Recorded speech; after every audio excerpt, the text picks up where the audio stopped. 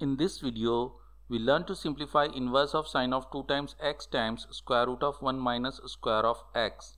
Here value of x is greater than or equal to minus 1 upon square root of 2 and is less than or equal to 1 upon square root of 2.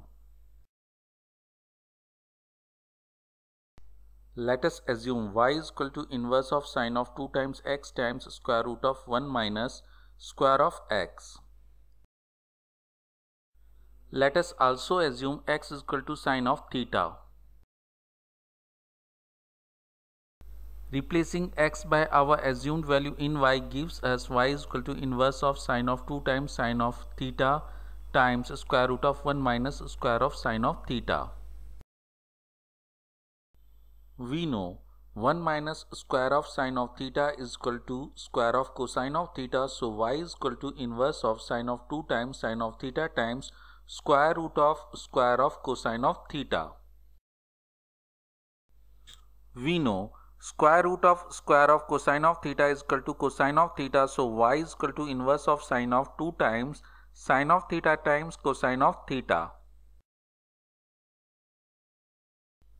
We know 2 times sine of theta times cosine of theta is equal to sine of 2 times theta. The trigonometry identity has been verified in the video appearing in the upper right corner of this video, the link of the video is also given in the description section. So y is equal to inverse of sine of sine of 2 times theta. Application of inverse of function properties gives us y is equal to 2 times theta.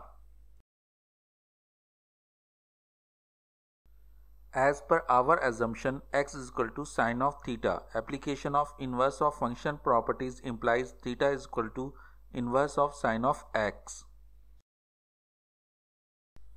So the above statement implies y is equal to 2 times inverse of sine of x. Thus simplification of inverse of sine of 2 times x times square root of 1 minus square of x is 2 times inverse of sine of x.